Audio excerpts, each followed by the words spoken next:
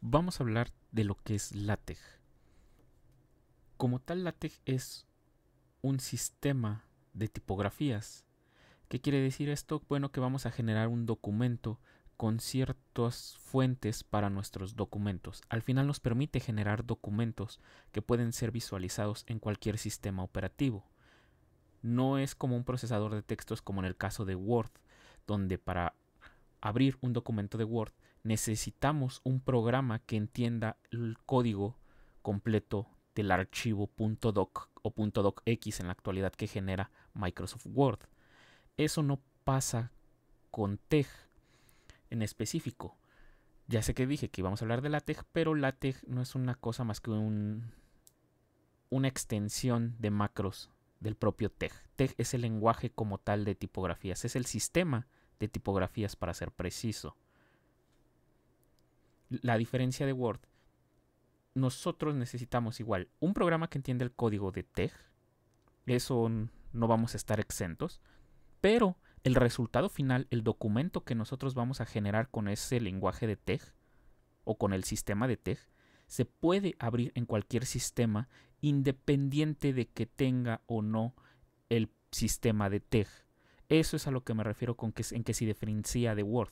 Word necesitamos forzosamente o el propio Word, el propio Microsoft Word, o necesitamos algún programa que entienda cómo funcionan los archivos que genera Word.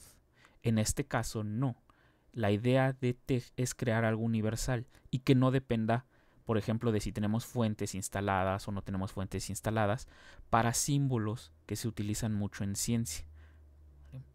Entonces, originalmente TEG fue creado para el ámbito científico, tuvo mucho éxito, pero hoy en día puede ser utilizado para muchas cosas más. Incluso puede ser utilizado para crear partituras en música, ya que tiene librerías específicas para el que nos permiten generar pentagramas y ahí escribir a partir de ciertos símbolos toda la partitura. Entonces tiene varias aplicaciones hoy en día TEG ya no está reservado al ámbito científico. Ahora, ¿qué es TEG? TEG, y lo voy a, escribir de esta manera, es un sistema de tipografías. Esto quiere decir que vamos a poder generar documentos con una serie de símbolos muy específicos, ya que en ciencia ocupamos bastantes símbolos que no son de uso común cuando redactamos textos usuales, pues se necesitaba un tipo específico de sistema que pudiera introducir estos símbolos. Escribir un artículo científico en máquina de escribir no era una tarea sencilla.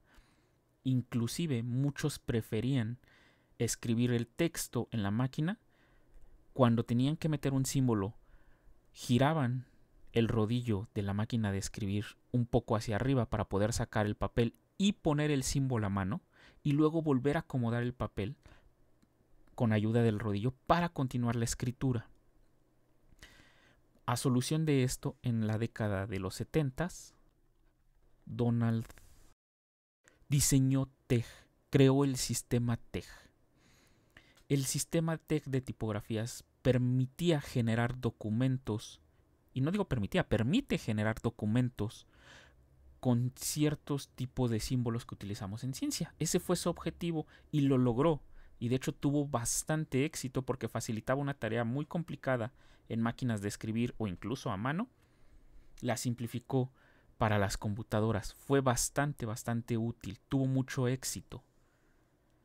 ¿Cómo lo hacía? Bueno, a partir de una serie de símbolos, de símbolos, a partir de una serie de comandos, este generaba los símbolos necesarios, los formatos necesarios para los documentos, y estos se exportaban en lo que se conocía como un documento DVI, Device Independent Format,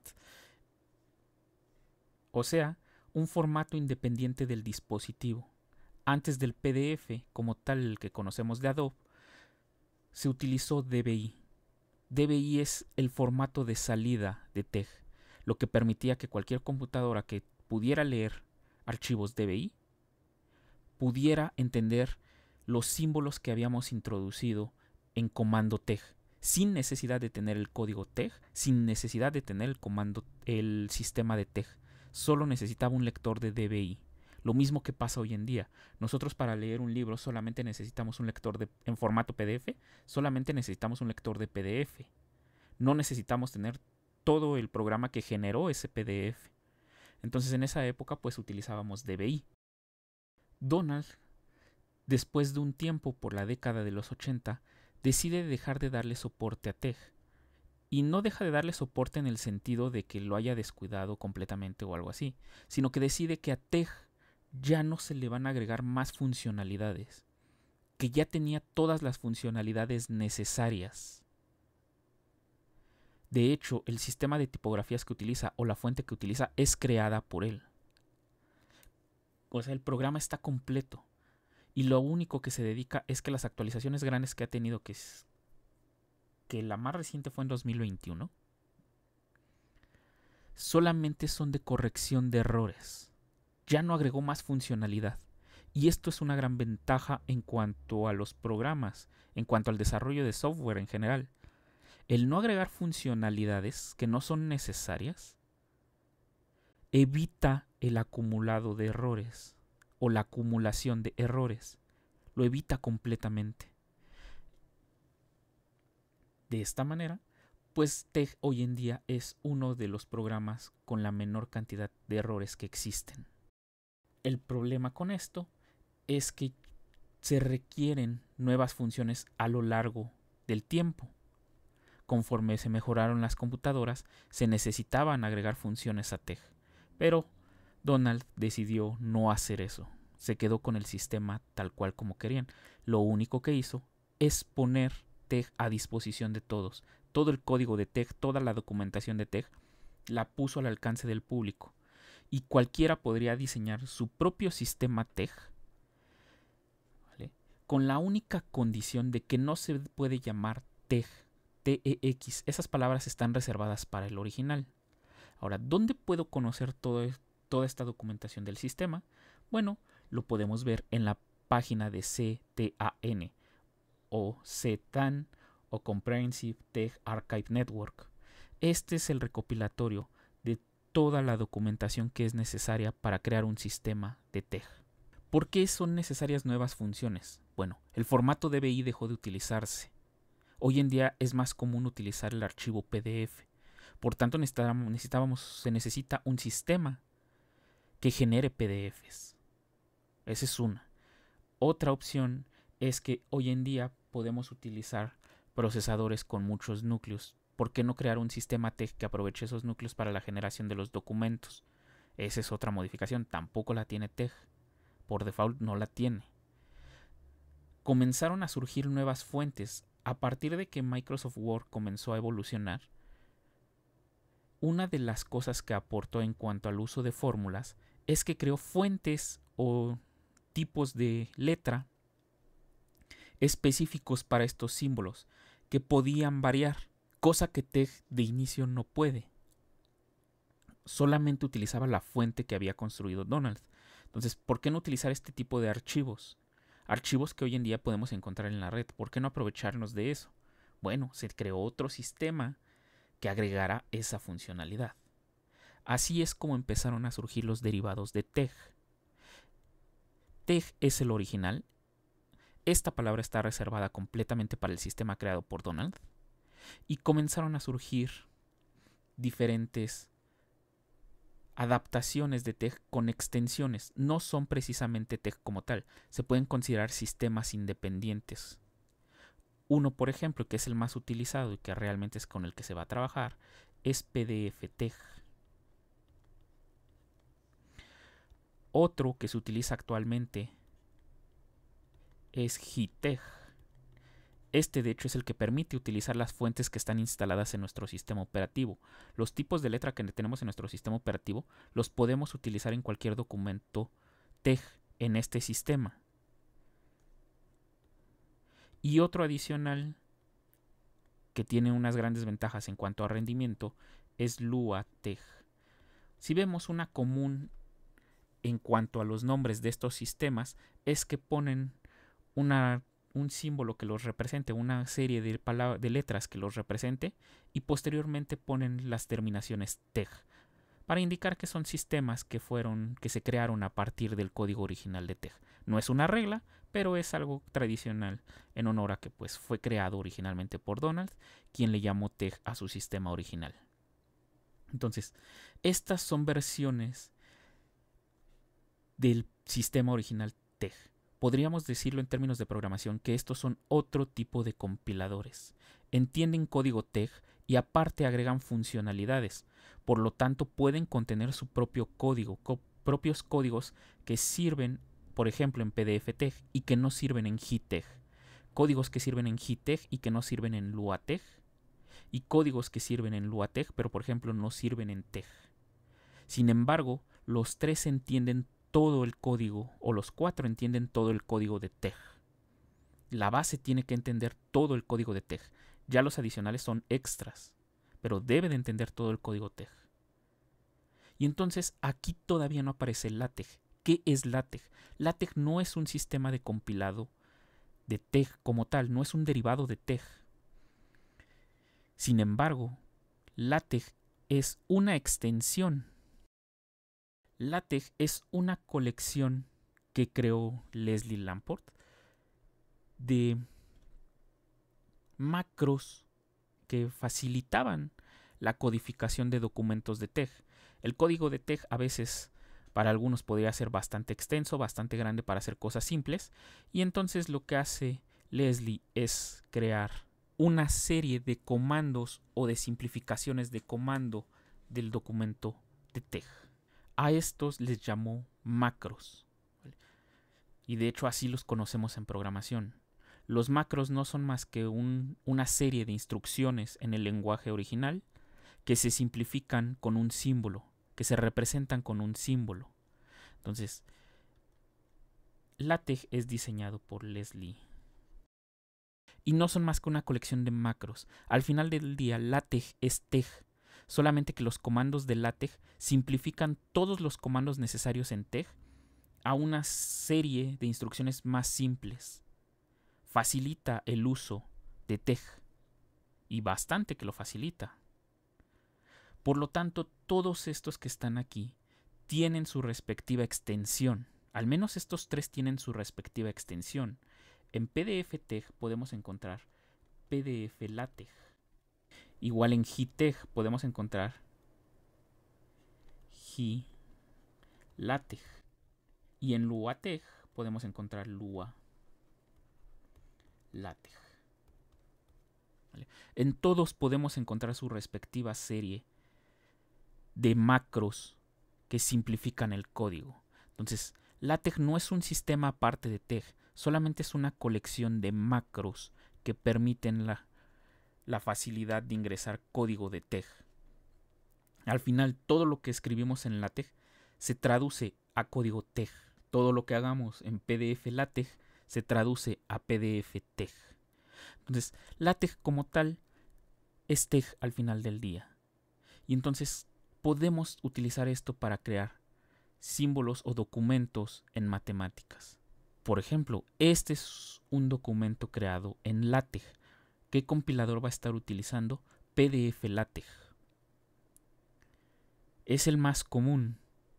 Solamente cuando se requieren fuentes específicas por ejemplo, para los lenguajes árabes, que sus fuentes son muy, muy, muy específicas, es recomendable mejor utilizar GILATEX. Pero en general, cuando no tenemos que utilizar símbolos muy específicos, trabajamos con LaTeX. Incluso, de hecho, LaTeX tampoco ya tiene problemas con fuentes arábicas. Entonces, esto es un ejemplo de un documento LaTeX. No entro en detalles en él, nada más es para que vean que realmente es código al final del día que es fácil de entender. Entre comillas, ya cuando uno está acostumbrado ya es fácil de entender. Esto no parece realmente al final algo que me vaya a resultar en un documento PDF que contenga símbolos matemáticos. Ah, pero si yo lo compilo en este momento, me genera este documento PDF que contiene toda esta fórmula. Todo esto que está aquí está descrito por medio de código de LaTeX. O sea, son macros que después se trasladan al código original de TEG. Entonces, esto genera este PDF. Todo todos estos símbolos, el de raíz cúbica, el de raíz cuadrada, las fracciones, el propio símbolo que representa LaTeX, el propio símbolo que representa TEG, todo está en código aquí. Uno pensará que es más complicado el estar escribiendo un documento en línea y luego agregar los símbolos por medio de la inserción de ecuaciones como pasa en Word, pero créanme que es más sencillo trabajar de esta forma y no es necesario estarse aprendiendo todos los comandos. Vuelve frecuente el uso de LaTeX, ya los comandos se memorizan y va a ser sencillo, es como cualquier lenguaje de programación así va a pasar. En un inicio parece que son muchos comandos. Incluso ni siquiera tengo que irme en un lenguaje de programación, como un idioma, aunque en un idioma hay muchas más reglas. Pero aquí no, aquí la idea es aprendernos qué significa cada comando. Y como les dije, no es que nos los tengamos que aprender todos de una sola vez. Los más frecuentes se van a quedar grabados siempre en nuestra memoria y otros que tengamos duda, hay muchas herramientas o muchos libros que nos pueden brindar una colección de comandos. De hecho, la herramienta que tengo aquí, que se llama TextMaker, permite agregar diferentes comandos de manera directa, sin tener yo que memorizarlos. Pero bueno, esto no, a mí en lo particular no se me hace tan eficiente, a menos que tengan un atajo del teclado asignado. Y entonces sí sería de gran utilidad. Pero como les digo, la mayoría de veces los vamos a tener mentalizados los comandos, que va a ser natural la escritura incluso cuando comparten una ecuación, por ejemplo, por algún sistema de mensajería, pues incluso si mandan el código TEG o el código LaTeX y las dos personas lo entienden, van a ver que es más fácil la comunicación en ese sentido. Y después de todo esto de ver qué es TEG, ¿cómo podemos trabajar LaTeX? Bien, para trabajar en LaTeX tenemos dos alternativas utilizar un editor de código, un editor de texto y un compilador en terminal que permita generar el documento LaTeX. ¿Cuál va a ser ese compilador? Bueno, puede ser el sistema de TEG, puede ser el sistema PDF TEG, puede ser el sistema GTEG o puede ser el sistema LuaTeX.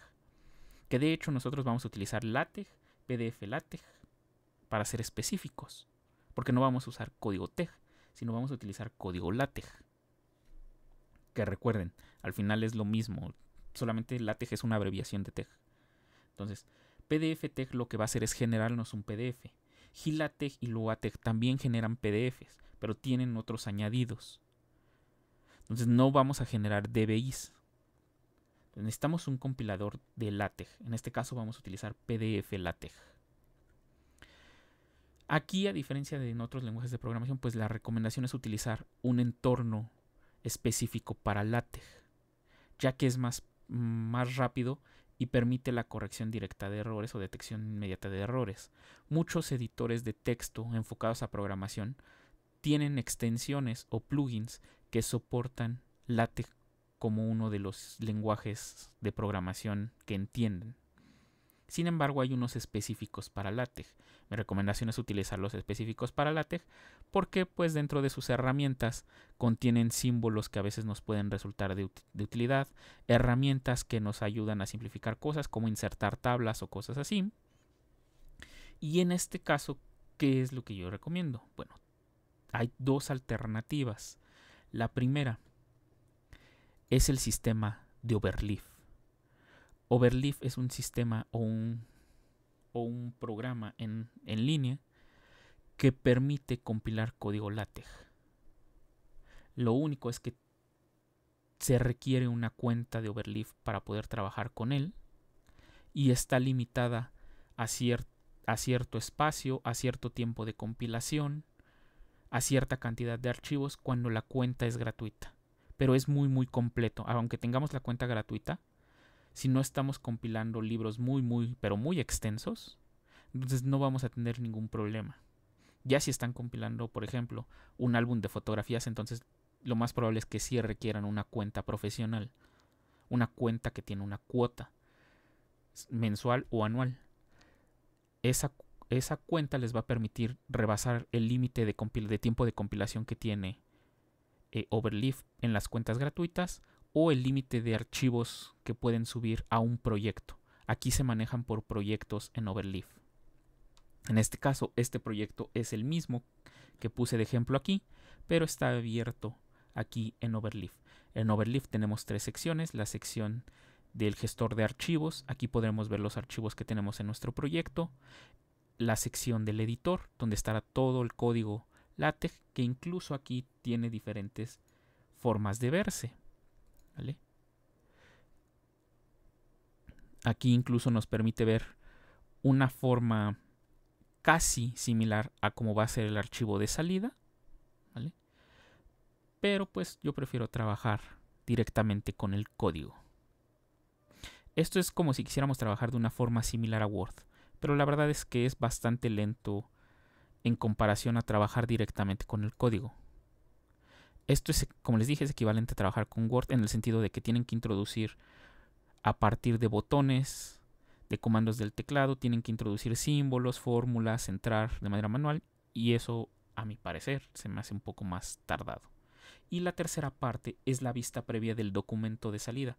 Este sería el PDF que nos generaría. Tiene muchas opciones de configuración. Si yo voy a la parte de menú, aquí me permite descargar todo mi proyecto o solamente el PDF de resultado. Y tengo aquí diferentes opciones para el compilado. Vean que me permite escoger el compilador. Miren, aquí está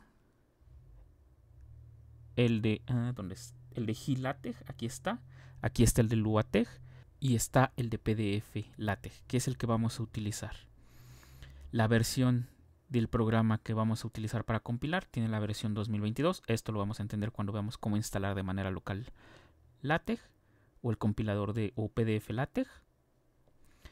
Esto de documento principal es porque una de las grandes ventajas de LaTeX es que podemos separar todo nuestro código de nuestro documento en diferentes subarchivos, lo que va a facilitar la localización de, de errores.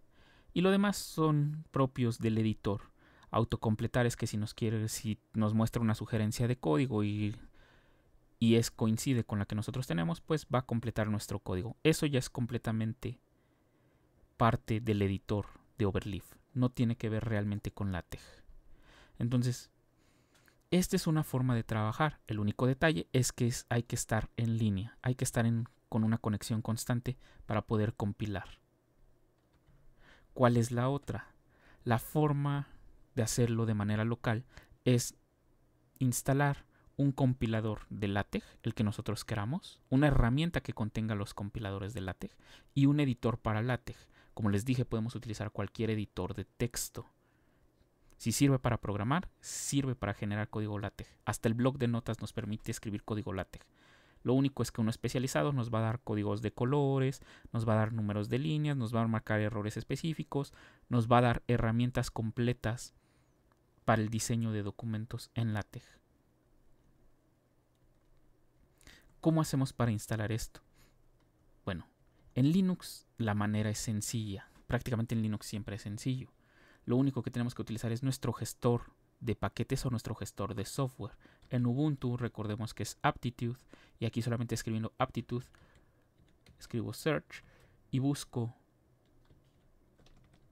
TechLive.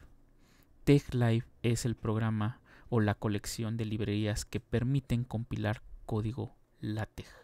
Vean que hay muchos paquetes con el nombre de TechLive. La mayoría de ellos son librerías. Soporte para el lenguaje chino, soporte para el lenguaje arábico, soporte para todos los lenguajes, soporte para los símbolos cirílicos. Tiene bastantes, bastantes paquetes aquí. Si queremos evitarnos el estar instalando uno por uno, lo más conveniente y lo que yo les recomiendo siempre que vayan a instalar LaTeX es buscar el paquete que diga TextLive Full este que está aquí.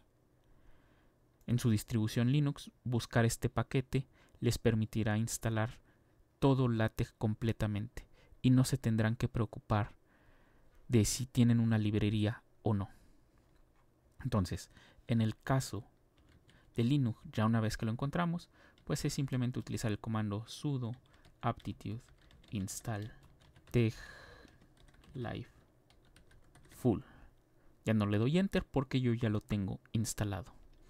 En el caso de distribuciones basadas en Red Hat, como son Fedora o como son OpenSUSE, utilizamos DNF y buscamos TechLive. Igual aquí, me parece que igual hay que darle opción install y utilizamos y buscamos TechLive full. Es el mismo paquete.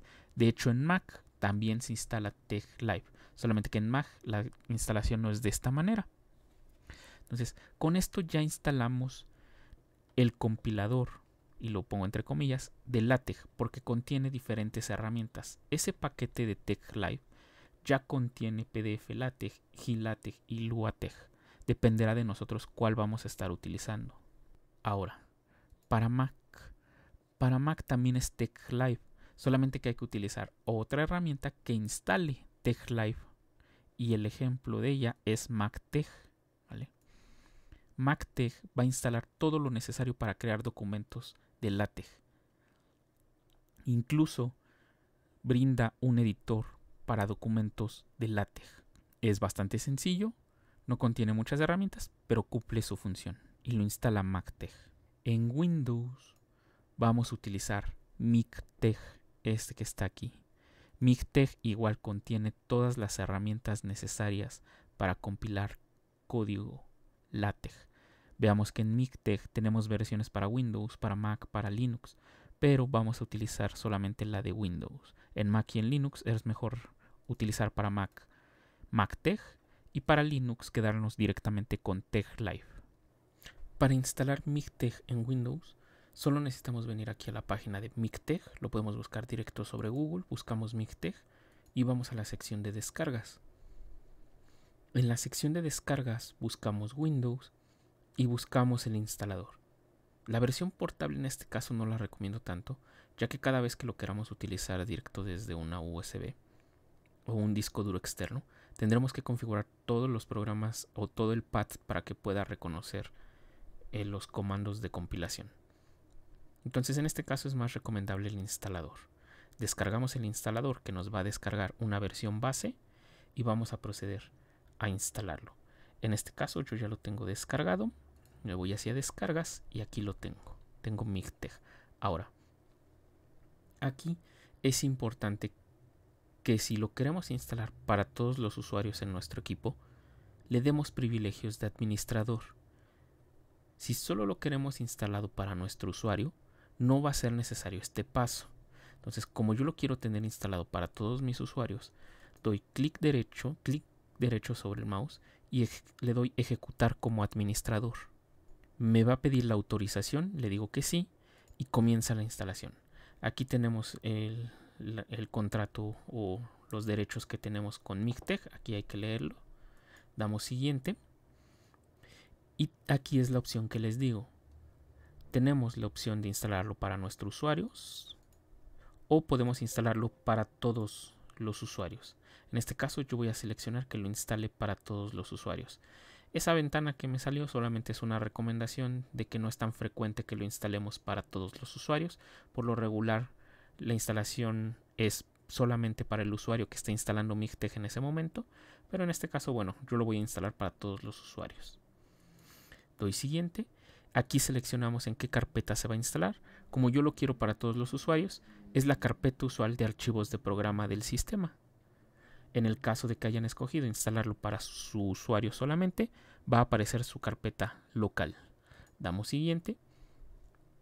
Y en estas opciones vamos a seleccionar el formato con el que vamos a trabajar por default de tipo de hoja. Tiene dos, en este caso es A4 y tamaño carta. Escojo tamaño carta, pueden escoger A4 dependiendo qué tipo de papel estén utilizando. Y la siguiente opción es referente al uso de paquetes. Cuando estamos trabajando en LaTeX, lo más común es utilizar una serie de paquetes para trabajar. Entonces, cada vez que compilemos, vamos a tener la opción o de en ese momento descargar el paquete si es que no lo tenemos instalado o cancelar la compilación e instalar en otro tiempo nosotros de forma manual el paquete necesario para compilar nuestro archivo. Aquí nos da tres opciones para seleccionar. Primero, cada vez que compile y no encuentre un paquete, me va a preguntar qué hacer, si lo quiero instalar o no lo quiero instalar en ese momento. O automáticamente seleccione que no quiero instalarlo en ese momento y cancele la compilación. O que continúe la compilación y me descargue automáticamente el paquete que vamos a requerir instalar. Si yo tengo los privilegios de administrador y no hay ningún problema, entonces voy a escoger que sí me instale en automático los paquetes necesarios para compilar mi documento. Que ni siquiera me pregunte, que en automático diga que sí los va a descargar. Ahorita vamos a ver cómo evitar ese, paso de que nos esté preguntando que esté descargando los paquetes, que sería el equivalente a haber descargado el paquete de TechLive, TechLive Full. Entonces, damos siguiente. Aquí nos da una descripción de lo que vamos a instalar y le damos comenzar y comienza toda la instalación. Aquí nos vamos a esperar un momento ya que pues va a descargar todo lo necesario para poder ejecutar código LaTeX.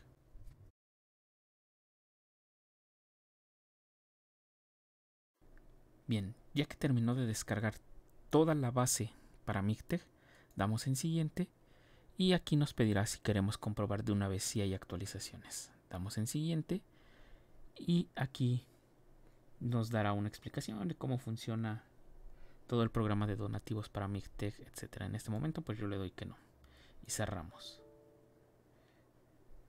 Ya habrá terminado nuestra instalación de MIGTEC. Ahora, si yo busco MIGTEC, aquí está. Me voy aquí a la bandeja de herramientas de Windows y aquí está la que se está ejecutando. Esta es la que ya me está comprobando actualizaciones. Aquí me dice, me dio una alerta de las actualizaciones que tiene MIGTEC y le voy a dar que las actualice de una vez. Ya ha terminado la actualización y necesita reiniciarse. Se va a cerrar el programa. Ya no me aparece en la bandeja. Y entonces buscamos MIGTEC console, este que está aquí, y lo ejecutamos. Este no es como tal el compilador. Este nos permite gestionar todo nuestro sistema de LaTeX o todo nuestro sistema TEG que vamos a estar utilizando. Ahora, esta es la consola de administración. Como yo lo tengo instalado para todos los usuarios, necesito cambiarme al modo administrador. En el caso de que lo hayan instalado para solamente su usuario, se podrán quedar en este modo que ya está aquí por defecto. Vean que aquí yo no puedo hacer ningún cambio de ventana, no puedo irme a actualizaciones, no puedo irme ni a paquetes, que es la opción que me interesa de momento, porque lo tengo instalado para todos los usuarios. Entonces necesito pasarme al modo administrador. El modo administrador abre y cierra el programa y ahora sí ya me permite configurar MIGTEG.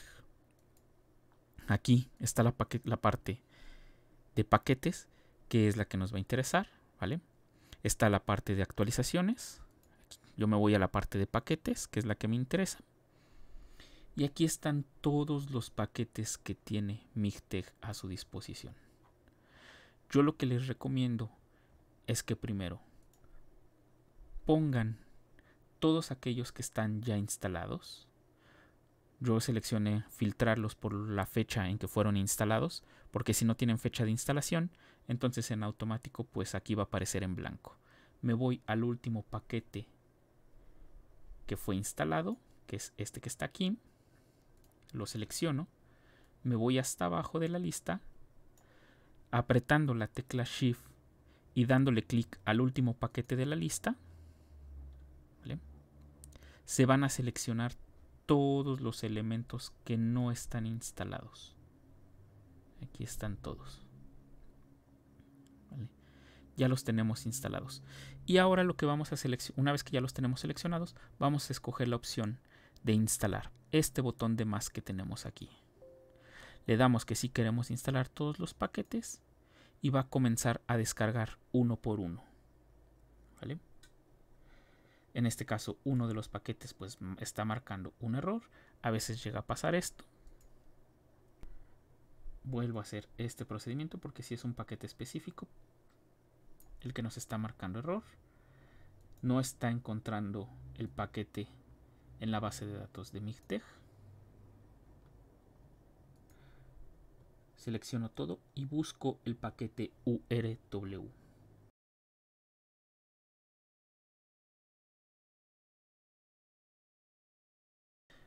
Para no deseleccionar todo, aprieto la tecla control y selecciono el paquete URW. y lo elimino.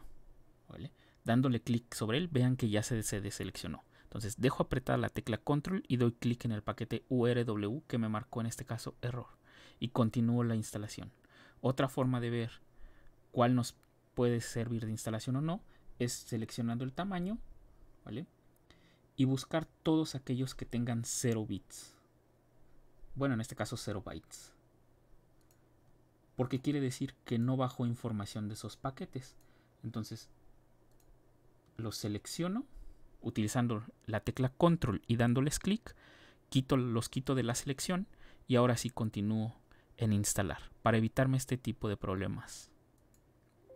Entonces le doy que sí y comienza a descargar los paquetes de los que sí tiene información. Entonces este puede ser un proceso largo porque aproximadamente son 2 GB de descarga. Una vez que ya tenemos descargado todo, va a empezar aquí a marcar 100%. Esperamos a que termine las últimas revisiones. Aquí tenemos una lista de todo lo que se, ha estado instalando, todas las tareas que se ha realizado. En total, pues podemos ver que fueron más de 5000 paquetes. La cantidad de archivos ya ni se diga. Y al final, bueno, yo recordaba que eran 2 GB en el caso de Windows, pero resultaron 4 GB en total de descarga. Entonces esperamos un poco a que termine de descargar los últimos paquetes y listo. Ya una vez que acaba nos da la opción de cerrar. Entonces ya tendremos instalada la mayoría de librerías que ocupa o de la mayoría de paquetes que ocupamos en LaTeX. Estos que están aquí, bueno, fueron paquetes que no se pudo encontrar información en internet de ellos, por eso marcaban 0 bytes. Por eso los, los quitamos de la lista de instalación. Ahora, ya que tenemos todo esto instalado, ya tenemos listo todo para trabajar directamente con LaTeX. Ya podríamos compilar en la terminal, solo habría que hacer una última configuración y listo. Pero vamos a encargarnos mejor de ahora instalar TextMaker. Por último, una vez que ya tenemos instalado el compilador de TeX o el compilador de LaTeX, necesitamos un programa que nos permita editar el código de LaTeX. O es recomendable tener un programa específico para LaTeX, para la edición de código. Como les dije, podemos utilizar el propio blog de notas y va a ser bastante útil, pero carece de muchas herramientas que tienen este tipo de editores específicos para LaTeX. Uno de los que yo más recomiendo, y de hecho es el que más recomiendo, es TextMaker. TextMaker es este que tengo aquí. Viene configurado completamente para diferentes tipos de compilador y en automático detecta nuestra instalación del compilador que tengamos instalado.